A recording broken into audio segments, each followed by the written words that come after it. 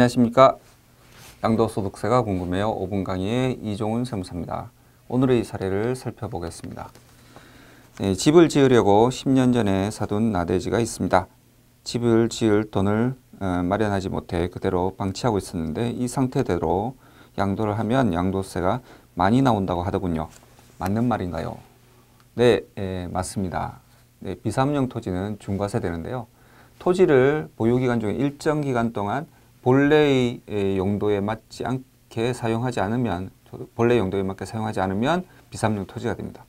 이 본래 용도에 맞게 사용한다는 것은 농지 같은 경우는 예, 8년 이상 제촌하면서 농작물을 직접 경작한 것을 말하고요. 그 다음에 임야 같은 경우에는 예, 그 예, 양도자가 제촌하는 것을 말하고요.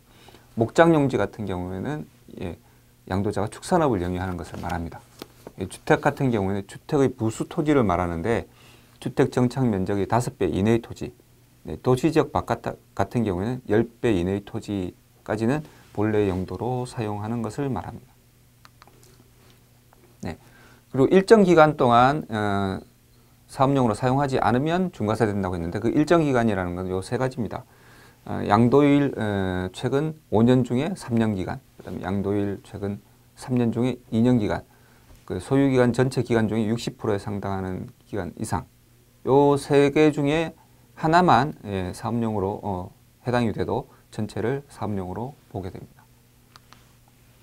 그 다음에 비사업용 토지를 판단하는 데 있어서 이런 기간 기준이라든가 뭐 지목 이런 거에 관계없이 예, 비사업용에서 제외하는 그런 토지들이 있습니다.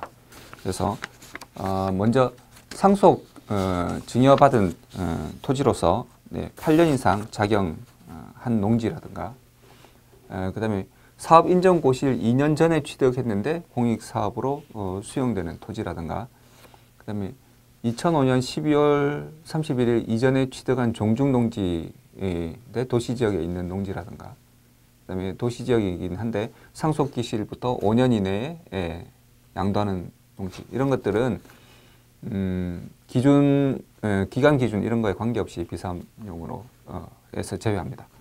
그 나머지들은 이제 지목이나 이런 거에 판단하는 거에 따라서 어, 판단을 하면 되는데요. 불분명하다, 지목이 불분명하다 하면 동, 공부상으로 어, 판단하시면 됩니다. 어, 질문에 있었던 나대지와 잡종지는 재산세 부과 여부를 판단하셔야 됩니다. 재산세가 어, 면제되거나 비과세되거나 어, 면제되는 토지는 중과세되지 않고요. 별도 합산이나 재산세가 분리과세되는 토지도 어, 중과세되지 않습니다.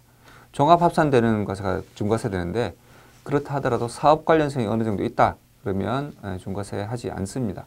그 대표적인 것이 운동장, 경기장, 그 다음에 주차장.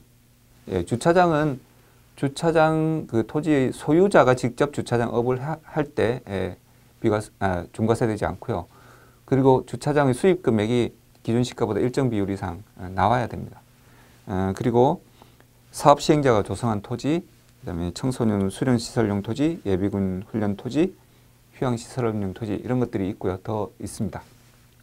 그리고 어, 하치장이 예, 사업 관련성으로 인정되는데요. 하치장으로 사용하는 면적의 120% 이내 의 면적까지 사업 관련성이 인정됩니다. 그리고 무주택자가 소유한 나지 660제곱미터 이내까지는 예, 예, 중과세 하지 않습니다.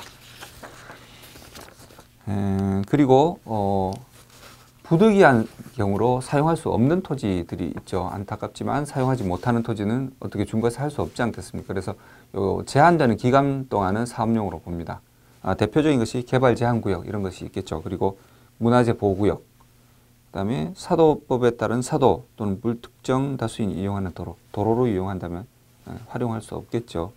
그다음에 건설에 착공된 토지, 건설 착공된 토지는 예, 취득일부터 2년간 그리고 건설 착공해서 공사하고 있는 기간, 그 기간 동안은 어, 사업용으로 사용한 걸로 봅니다. 그리고 건축물이 멸실돼서 나지로 됐다.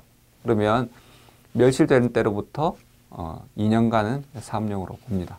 요걸 기간을 넣어서 전체 기간 기준에 넣어서 판단하시면 됩니다. 네, 이분 같은 경우에는 무주택 상태에서 집을 지으려고 보유한 일정 면적 이하의 나대, 나대지는 사업용으로 보므로 나대지 보유 기간과 무주택 기간을 고려해서 비사업용 토지 기간 기준에 해당하는지 여부를 판단하면 됩니다.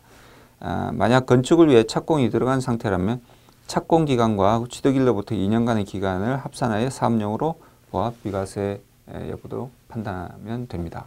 이렇게 상담해 드렸습니다.